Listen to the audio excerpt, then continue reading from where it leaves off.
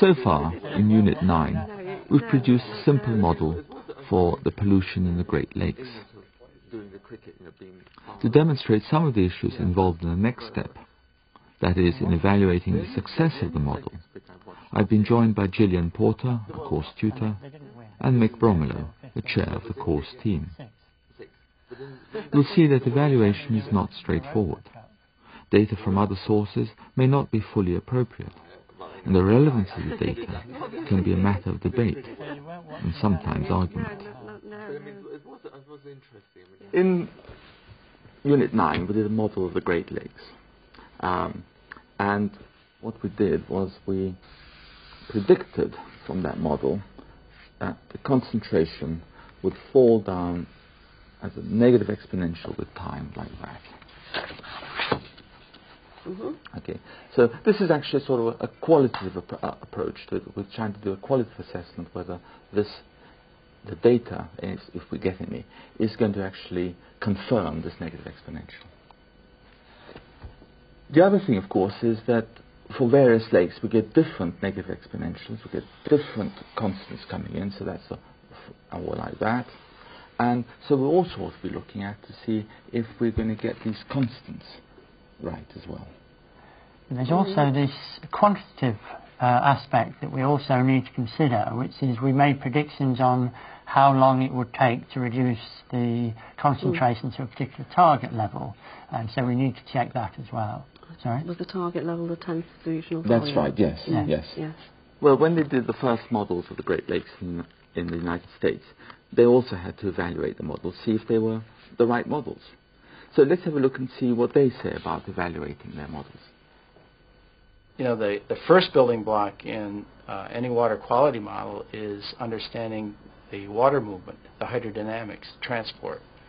And uh, the way we do that is uh, there's several different approaches, but basically uh, one of the ways we do it is to uh, model a conservative substance. For instance, my first work in the Great Lakes was a model of chloride in Saginaw Bay. Chloride does not react with the water or, or the sediment or with the biota, so it's a conservative substance. And so we put that as our first step into the uh, water quality model, and then we calculate the co- chloride concentrations and compare that to what we measure. And we can adjust the coefficients in the model till the calculated and the measured match. Then we say we've got a good transport model. That's a very simple way of uh, to start water quality modeling with something like a conservative substance. So, following Bill Richardson's lead then, to evaluate our model, it seems that we need to have data for a particular pollutant and a conservative substance, i.e. one which doesn't biodegrade. Do we have any data, John? What I've done actually is gone into the internet and tried to see what there's any government figures about this, any research figures. And what I've come up with is some PCB concentration in Lake Superior for a number of years, uh, which is down here. This is the concentration in, in nanograms per liter uh, for various years, and it starts what 78 and goes down to 92. It says they've stopped producing any PCBs, haven't really quite done a surge in 19, uh, 1979, isn't yeah, it? so I was wondering whether you'd noticed Mhm. that. Yes.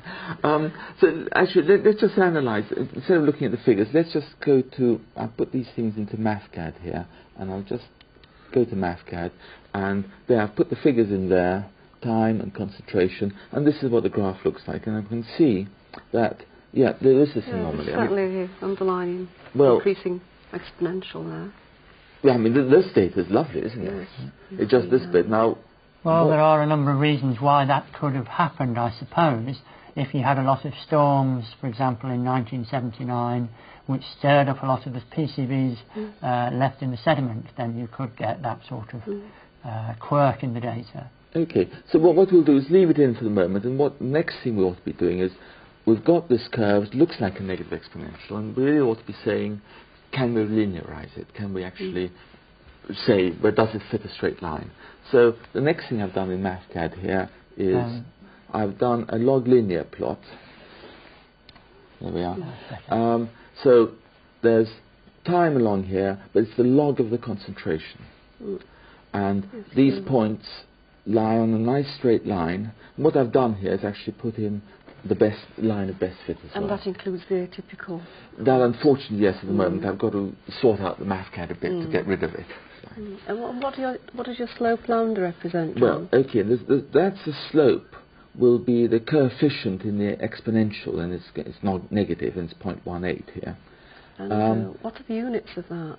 Now the units, well, they're going to be, well, since we've got years along here, this is going to be 1 over years. hmm So if I take the reciprocal, which I've done here, that's going to be in terms of, that's going to be years now.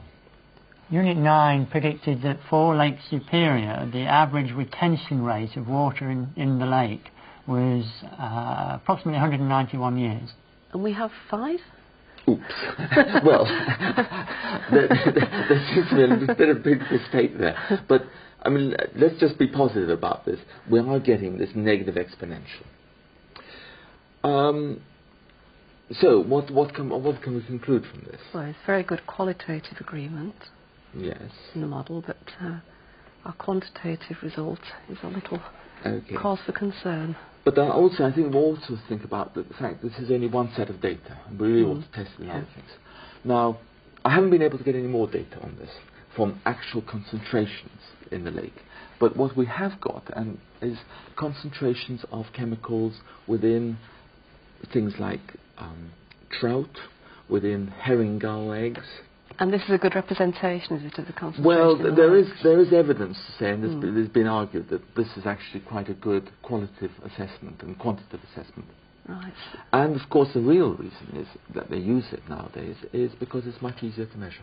Yes, of course. Yeah. Um, just, just to explain that further, I mean, we've got this is I also picked this up off the web, and this is meant to be an illustration of the food chain about how PCBs actually go in the food chain. We start off with PCBs in the lake, which are then absorbed into the plankton, let's start with the phytoplankton. phytoplankton. Now, I think, I don't know if you can see, this is 0.025 parts per million, and this is point, something like 0.1 parts per million. And I expect that these are eaten by these young fish here, the smelt, and in there the concentration is 1 part per million, so it's going up. Mm. The smelt, I believe, are going to be eaten by these lake trout, which is about four parts per million, and then the herring gulls, which feed on top of, on, on, on the fish, that's uh, 124 parts per million. Mm, they're eating a lot of fish. They eat a lot of fish, but they also actually then retain all these PCBs. Yeah, this is Yes. the process of biomagnification. Oh, Yeah. All right, that, so it's biomagnification. Um, so what we do nowadays at Panty, what they do is just measure things like the chemicals in lake trout or in herring gull eggs. And that's a good measure of what's happening to the pollution in the lakes. Good, John. So what data did you manage to collect? Well, the data I got, once again, I got this off the internet, so let's just go into, back again into the internet, and this is PCB levels in herring gull eggs.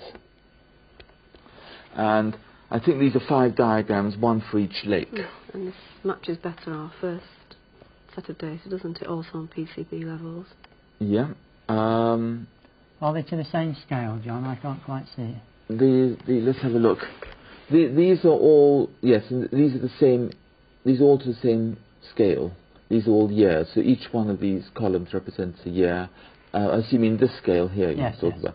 about. Um, 150, 150, 150, yeah, 150, that, that's all to the same scale. Um, I suppose actually the nice thing about collecting herring gull eggs is that you also get a sort of averaging thing because these gulls mm. are flying around the lake and Yeah. sampling from all over the lake. Well, yes, but around the edges of the lake, John, rather than the middle. Depends where the fish is. And the concentrations, the concentrations around the edges of the lake are likely to be greater than around the middle, because if it's industrial processes, then it's around the edge of the lake. Yeah, but we've assumed mixing. I mean, one of our simplifying assumptions. Yes, but maybe that's what we need to, to have a look Yes. at. Um, our, our simplifying assumptions, are they actually valid? Okay. Well, so certainly, wha- wha- let's let's look at this data. I mean, there certainly seems some kind of negative exponential trend there. We're getting the same kind of Mm. reinforcement of our negative exponential. Um, just have a look at some other data. Can't remember what I've got here. 10. This is. Try and try and move this down. This is whole trout. So it's PCB levels in whole trout. This is sampled at a great many more points. Actually, this has got this is Canadian data, the red stuff, and the blue stuff is the USA data. They sort of split the two together. um. Now, one or two of those, tho- that data does tend to support this negative exponential model. I can see that that's over to the left. Yes. Well, I mean, this this one. That's that one. Michigan. Now, that looks negative exponential, though you'd have to go your log linear fit to, to check. Exactly. Yes. Um, but some of the others don't really look negative exponential.